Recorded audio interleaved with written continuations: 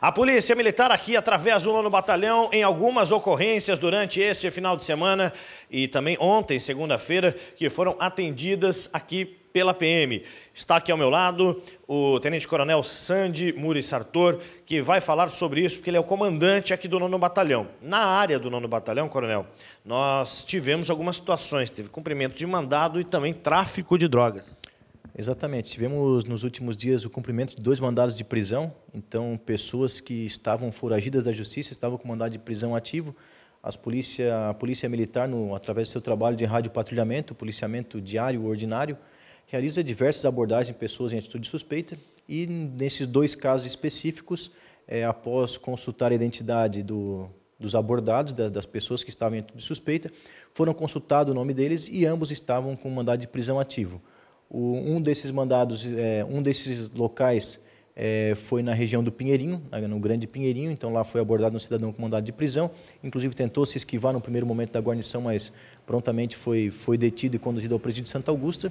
E tivemos também um cumprimento de mandado de prisão na área central, na rua Henrique Lage. Da mesma forma, a Polícia Militar abordou o cidadão e, após é, identificá-lo e constatar que estava com um mandado de prisão em aberto.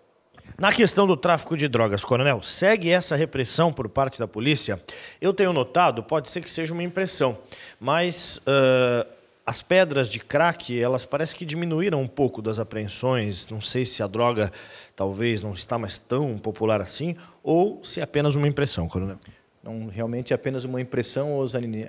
o crack continua é, presente na nossa sociedade, no nosso infelizmente, no, no, dia a dia ainda, por vezes abordamos é, cidadãos, entretanto, com pequenas quantidades, e então eles são lavrados termo circunstanciado no local e ali prontamente já são liberados e aguardam a intimação da Justiça Especial Criminal. Então, é, continua a presença do crack é, nas ruas, né? então a, gente, a Polícia Militar continua trabalhando e continua abordando.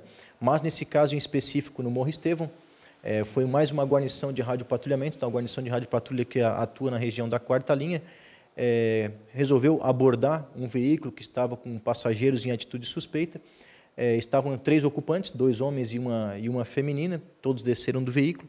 É, de posse, de, na posse deles não havia nada de, de ilícito, nada de irregular com as pessoas. É, entretanto, né, foi chamado o canil para prestar um apoio nessa, nessa abordagem, o cão de faro, e localizou mais de 500 comprimidos de êxtase é, na parte de baixo, né, na parte inferior do banco do caroneiro. Diante disso, foi lavrado o flagrante e foi conduzido para a delegacia de polícia.